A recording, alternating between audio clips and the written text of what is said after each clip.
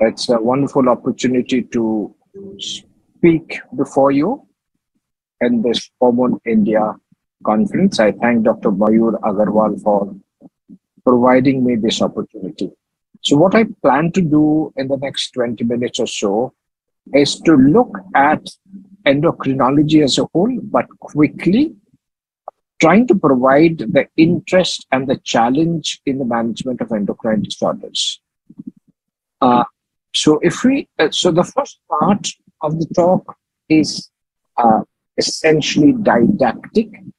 The later half is only through photographs that I've taken of various patients and their issues over the last 40 years. So if you think of endocrinology as a discipline, it's relatively new. But if we think of endocrine disorders, I think they are amongst the oldest recognized diseases that one knows. For example, if we talk of diabetes, the earliest references are in the Ebers Papyrus in Egypt, uh, which is probably 700 or 800 BC. And then we have in our own country reference to Madhumeha, which is what diabetes is, uh, way back uh, by Charak and Sushruta. And then if we go down different important points in uh, the landmark events in the development of endocrinology. I don't think we need to go into all the details, but we remember that the science actually had a boost in the 20th century with the discovery of different hormones. First on the list is adrenaline in the year 1901, then secretin 1902. But the word hormone itself was used only in 1905 by Sir Starling, Ernest Starling, during his Croonian lectures in London. And then we have a list of so many different hormones, and the discovery of hormones continued even into the 21st century with new hormones like resistin and visfatin and adiponectin being identified. While this journey continues, this is again uh, uh, remembering Starling, who first used the word hormone in 1905. Now, if we think of the definition of hormone, the classic definition of hormone as a chemical substance produced in a specialized gland which is released into the bloodstream and transported to distant tissues to elicit physiological responses. But we already know that this understanding of hormone and actions has undergone a lot of change over time. For example, we now know that hormones need not come only from specialized glands. We, we always talk of the pituitary, the thyroid, the adrenal, the gonads. But hormones are known to be produced practically all across the body. So either they could be some specialized cells dispersed in other tissues. For example, in the intestinal lining, you have endocrine cells which secrete uh, maybe the GLP-1 or GIP that we all know. And then even otherwise normal cells, fat cells, are known to secrete so many hormones like leptin or adiponectin. And then our classic understanding is that hormones have to be produced in one part and have to be carried over long distance to, to, to have an effect in a different part of the body. But now we know that hormones can act locally, which we refer to as paracrine, which is just outside the cell from which this hormone arises, or it could even be autocrine, that is, the cell that produces the hormone can influence itself. So these are new new understanding, and we also now understand that hormone receptors can be present much more widely than in classic organs or tissues that are known to be uh, uh, final effector organs for different hormones. For example, let's uh, take the example of prolactin. Prolactin, primary organ for its action is known to be the breast for causing milk secretion, milk production. But now we understand that prolactin receptors are present widely on different cell types, including on lymphocytes. So, what are prolactin receptors doing on lymphocytes? So, it must be having some immune related action as well, which is not a classic action of prolactin. And this, this slide lists uh, once again the classic sites of hormones and the non-classic sites and different hormones that are produced and, and these days we talk a lot about pro-BNP as, as, as a marker of heart failure, and we, which is secreted from the heart. So heart, once again, is also an endocrine organ. So which organ is not an endocrine organ? Now we, we are in a difficulty to find out. And uh, as we were saying, the understanding has undergone a lot of change. So we thought one gene could produce one hormone. We thought one cell could produce one hormone only, and one hormone acts on only one receptor. But we now know that there could be multiple receptors for the same hormone. For example, estrogen receptor alpha and beta both attract estrogen. Similarly, one hormone has one coherent action. Now we know that one hormone could have so many different actions. And very importantly, in the past, we thought that hormone concentration, if we could measure in blood, then that will give us an idea of the hormone action at the tissue level. But now we understand from the concept of receptor upregulation, downregulation, that the same level of hormone may give rise to practically no effect of the hormone because of hormone resistance. And that's because of receptor downregulation. That's, of course, one mechanism. So these are all the recent advances, the understanding in the discipline of endocrinology. So now we have established that endocrine disorders are there for time immemorial, and there has been a lot of uh, advances in the understanding of endocrinology. And we also wish to put on record that endocrine disorders are quite common in our country. If we put together thyroid disorders and diabetes, which are by far the most common endocrine disorders that we see. But there are a whole host of others, and I think metabolic bone disease is something which is newly being uh, uh, over the last new new doesn't mean absolutely new, but over the last 15 years or so, is being recognized that metabolic bone disease is an endocrine disorder. And so, if we add all of these together, then possibly more than 170 million people in our country are suffering from one or the other endocrine disorder. Now, now that brings us to the topic endocrine kaleidoscope. Why is this name? Well, I'm sure as a child, you, just as I have, been fascinated by this small toy, the kaleidoscope, where if you turn the kaleidoscope a little bit, it, you, you come to see a whole new set of colors and patterns. So, similarly, in endocrinology, I think each patient is different from the next one, and we see so many different hues and patterns of the same disease. So, let me now try and take you through the excitement of an endocrinologist uh, in, in its clinical, uh, the clinical charm related to endocrinology I'll show you different uh, actual real life cases. Now, this is a lady who's elderly, more than 65, uh, who has got a large toxic multinodular goiter. I do remember because she was mother of one of the nurses in our uh, institute. Now, we had suggested that surgery is the best form of treatment, but she just refused. She said, No, I'll, continue with medical treatment, whatever you have to offer. So we could control her hyperthyroid features with antithyroid drugs, but those large thyroid nodules we clearly cannot dissolve just by giving medicines. But uh, remember that this uh, lady looks otherwise healthy and is fully conscious.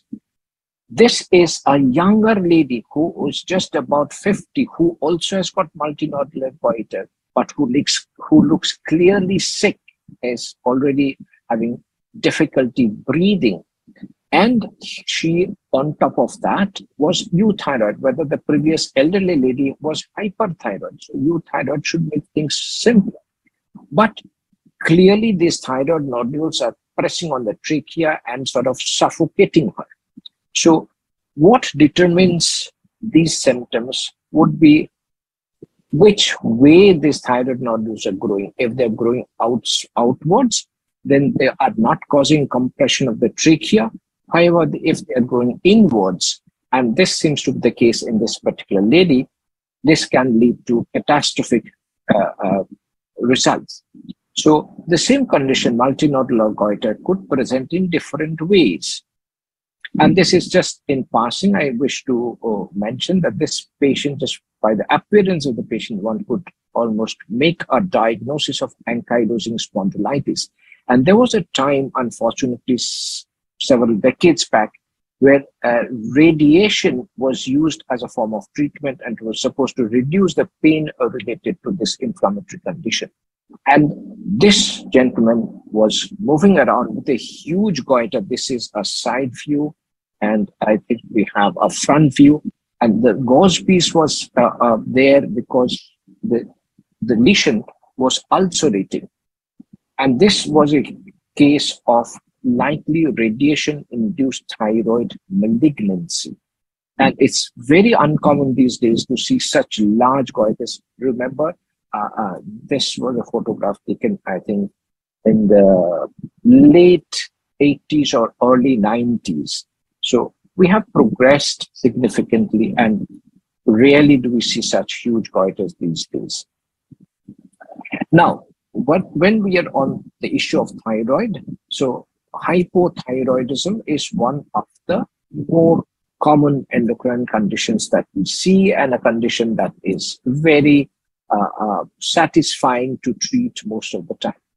Now, hypothyroidism is associated, some of the classic clinical signs is loss of scalp hair, loss of eyebrows. These are almost classic symptoms or signs in a patient of hypothyroidism. Now, see on the left, we have a girl of six years who has got increased hair over her back. This is downy sort of hair, not terminal hair. And on the right, the same, and, and she was diagnosed to have primary hypothyroidism with quite high TSH value. She was treated with thyroxine in the same girl. Uh, this is a different, uh, more close-up view. Uh, so it's the same girl, which shows significant reduction in that excess hair growth over the back. So the point that I'm trying to make is hypothyroidism classically causes hair loss, but it can also cause increased hair growth, especially downy hair growth, and maybe uncovered areas of the body, which can improve, which can decrease after successful treatment of hypothyroidism. Now, once again, we know hypothyroidism as a condition that is associated with slowness of metabolism, with with everything slows down, mental process slows down, you grow less, and so on and so forth. Puberty is delayed. But the girl on the left actually was referred to us from gynecology department. Now she is a girl of four and a half years. Now she had breast development, and on this slide we can demonstrate. Uh, we can see the breast development, breast being right, the breast being enlarged which was there for the last six to eight months. Mother, of course, had uh, ignored it, but then when she had the first menstrual bleed, was she brought to the hospital and she had been taken to the gynecology department. And there they found on ultrasonography large cystic ovaries, and they were ready to do surgery for those cysts.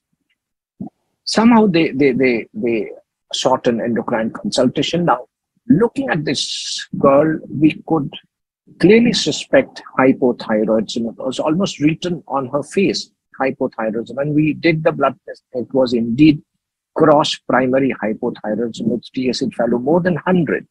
And so we somehow requested our gynec colleagues, please do not operate on this girl. Let us give her medical treatment. Let us see how she progresses. And so rather reluctantly they agreed to it. And this is the same girl after about four months where the breast has no further enlarged, possibly has regressed somewhat. She not have any further bleeds.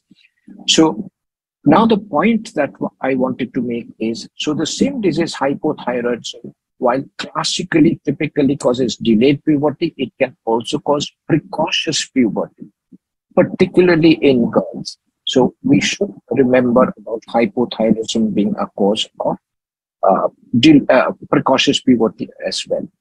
Now, this is another lady. This is a lady of, uh, she is about 55 years. Now, she has a puffy face, uh, some pallor, and the general physician had done a thyroid function test and found a TSH being about seven, which is a little bit high but not high enough. And so he thought that he's got the cause for her symptoms and signs and referred to us.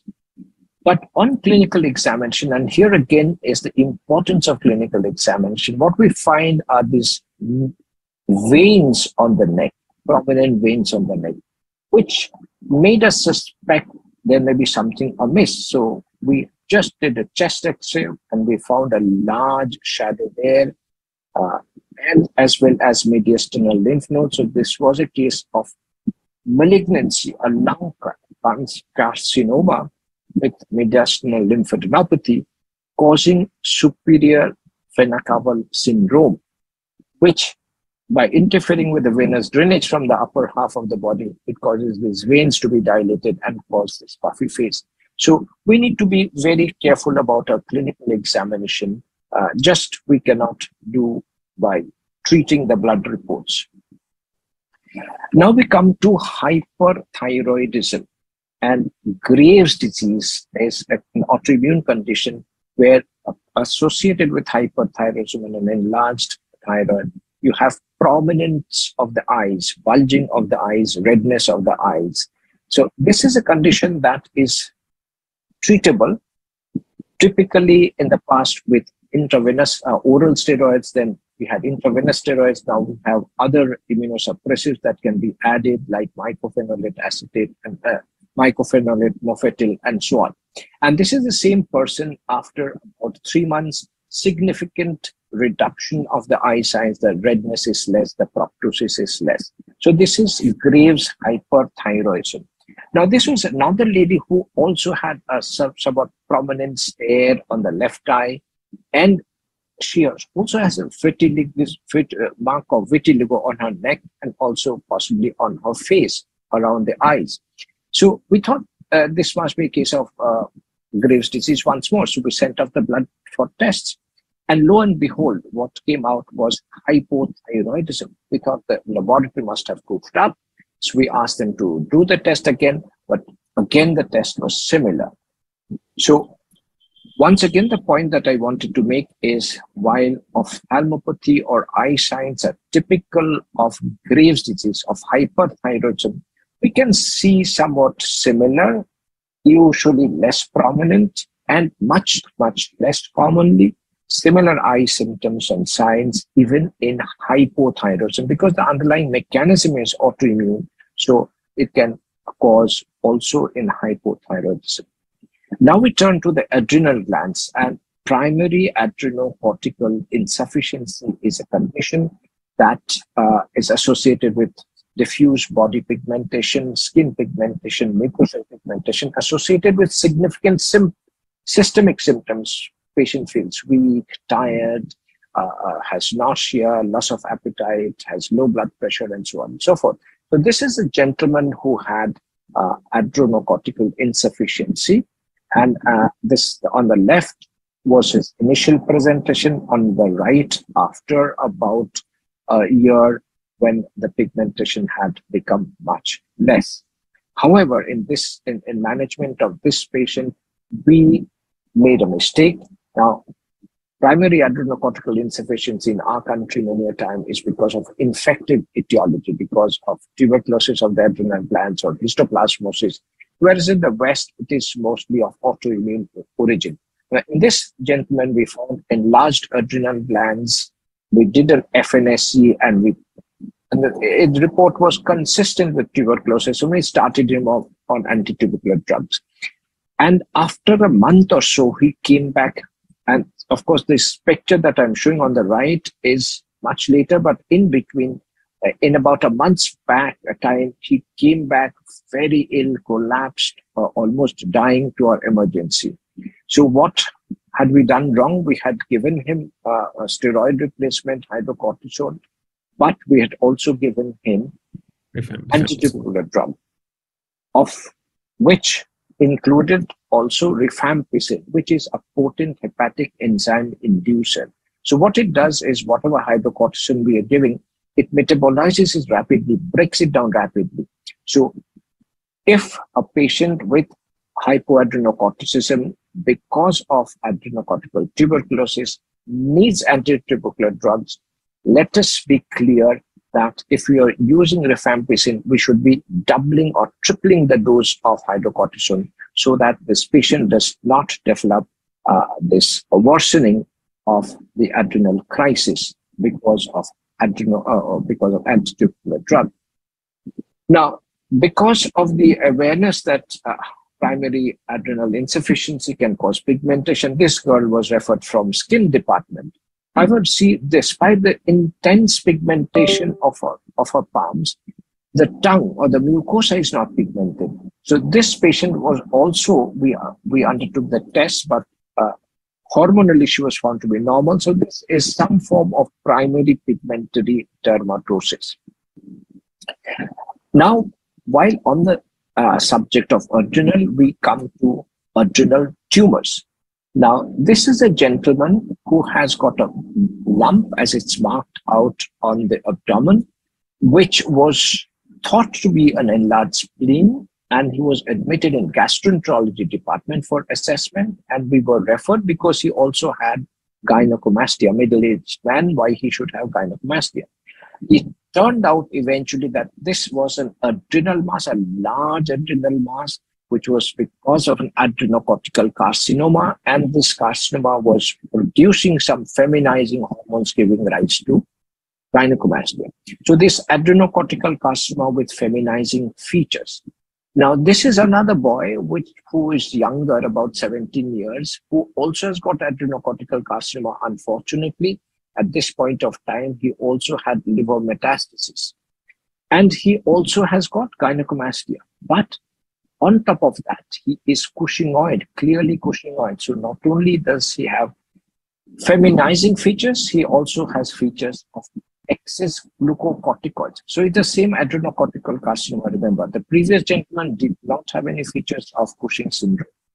And now we come to a four-year-old girl who has got again an adrenocortical carcinoma, but what she has got is excess virilization at age four. She's already developed mustache, her pubic hair has appeared, and she has got significant clitoral enlargement. So the point, once again, that I'm trying to bring home is the same adrenocortical carcinoma under the histopathologist's knife or under the microscope. It's the same adrenocortical carcinoma. But in one, the feature is only feminizing. In the other, it's feminizing plus glucocorticoid excess and yet in another it could just present with androgen excess. So the same adrenocortical carcinoma with different features. And this is a, a, a SIB, SIB pair, both of whom were grossly short. Now, grossly short, we, we commonly ascribe to growth hormone deficiency. So we did the growth hormone test, which was normal. Then we, we, we thought it's because of growth hormone resistance. So we did the IGF-1 test, which is a measure of growth hormone action at the level of liver. Now that was also normal to high. So this is one of the very, very rare instances of IGF-1 resistance causing short stature. Now this is a 16 or 15 year old girl who was being treated in neuromedicine outdoor because of her epilepsy. Now, she also has, as you can uh, clearly find out, a mature cataract in the right eye. So she was referred to the eye department And the eye department thought that it's not quite all right that a 16 year old girl should be having cataract. So somehow they referred to us. And then we evaluated and found that she was grossly hypocalcemic. And this hypocalcemia uh, was because of hypoparathyroidism. And so we remember that hypoparathyroidism can uh, give rise to seizure-like manifestations. So this child, this, this girl was being treated just as an epilepsy. But what she had underlying was hypocalcemia. And so under our follow-up, under our treatment, the calcium levels improved. And over a couple of years, we were gradually able to wean her off the anti-epileptic medications. This is a case of Leydig cells of the testis. They produce excess testosterone even without getting stimulus from LH, which normally happens at puberty because of a constitutional activation of the G protein coupled receptors on uh, on these Leydig cells of testis. So this is a rare condition and, and this but triglycerides were high. And she had this typical appearance which suggests lipoatrophy. See? Loss of buccal pad of fat loss of fat over her forearms or over her arms which makes the muscles look so much prominent. So this is also a case of insulin resistance. Again if we measure the insulin it will be high. It will be much higher than in the previous case but the blood glucose is also high. So we had high insulin with normal glucose in the previous uh, girl with polycystic ovarian disease. This is high insulin with high glucose because the insulin level is high, but the resistance is so severe that even elevating the level of insulin, the body is not able to compensate for the level of insulin resistance. And then we come to this. Uh, this is uh, not uh, the patient's photograph, but a CT scan of abdomen. This was a middle-aged man who was behaving abnormally at times, so he had been taken to a psychiatrist, and uh, nothing came of it. He was put on antipsychotic. He continued to gain weight, but he continued to have abnormal spells of behavior, and so eventually he was referred to us. And when we admitted and did a thorough sort of clinical examination and following up uh, during uh, uh, hospitals his hospital stay, we found that he was developing low blood glucose, and those low blood glucose levels were coinciding with these periods of abnormal behavior because of the neuroglycopenia. And so we further evaluated, found that he's got high insulin levels. And then we did a CT scan, a triphasic CT scan, and we found that there was a tumor in the, uh, in the pancreas. Uh, it's marked out here, which is an insulinoma. So this is a case where, again, the insulin level is high, but the glucose level is low. So remember, the insulin level could be high with a normal glucose, with a high glucose, or and even a low glucose, as, as in this individual. But of course, uh, after removal of the tumor, he was completely cured of his symptoms.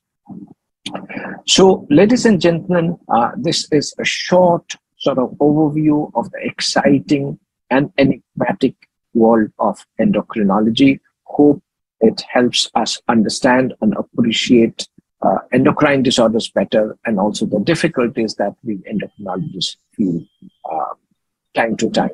Uh, thank you very much for your patient hearing. So